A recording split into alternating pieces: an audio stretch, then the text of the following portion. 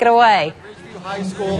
We're out here for Eliza O'Neill. If we could quickly show Eliza right there, it's hard to get her to sit still. She is a four-year-old after all, but we are raising money for Eliza here at Ridge View High. Come join us 7:30 until midnight tonight. It's a dance-a-thon. Now come on back here, photographer Jay, and we're gonna nae nae right now. Here we go. How do you nae nae? Malcolm Montgomery. Malcolm Montgomery's going to show Ben how to do the nae nae. Ben really will do anything for Eliza, so he's going to break it down. Tell him what to do, Malcolm. All right, for the nae nae, you basically just want to have a steady base. You want to have a steady base, get a nice little rock going, put one hand in the air.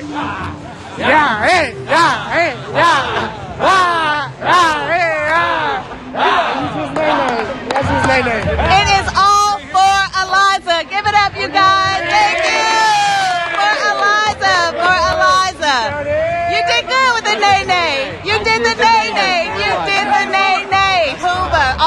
Eliza. Great job, you guys. Thanks for joining us for the News at 7. We'll have more on this big event for Eliza coming up tonight at 11. Thank you.